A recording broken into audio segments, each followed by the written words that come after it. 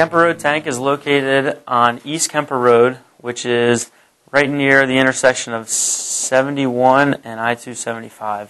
You can kind of see it from I-275 if you know where to look. It serves our Brecon service area. It's connected to our Brecon service area, which is areas like Blue Ash, Kenwood, and Montgomery, kind of the northeast side of the city. It's helping provide redundancy in that area. This tank will sit next to our Brecon tank. It's just a few miles down the road. So we do get additional storage in that area. Also, with Lebanon coming online, the new customers, this will help provide uh, water to the Lebanon pump station to feed that service area. Uh, aside from being the biggest elevated tank that we have, it stores 3 million gallons of water. It's the first composite tank that we have. And a composite tank just means that the pedestal is made of one material, concrete, and the bowl is made out of another, steel.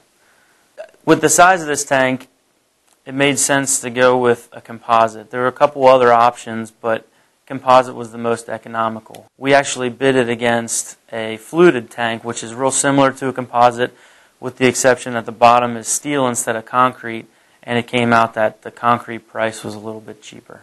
In order to jack the bowl up, they had to weld 72 lugs on the inside of the bowl. And they took 72 hydraulic jacks on the top of the pedestal and dropped wire down from the hydraulic jack down to the lugs. So they were able to run a couple pumps and pull it up one foot at a time. After each foot, they had to reset, they locked the cable down and then reset all of the hydraulic jacks and then let it pump up to the next foot. So literally one foot at a time for the 64 feet that it had to climb.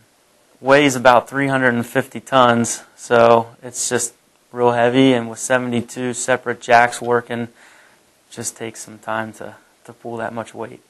It's definitely interesting. You don't see it every day, and uh, with the companies that perform this work, there's only a few of them in, in the U.S. that do it. Each one of them has a, def, a different system. So see Caldwell's system is interesting. I'm sure the other ones will be unique and different in, in their own way.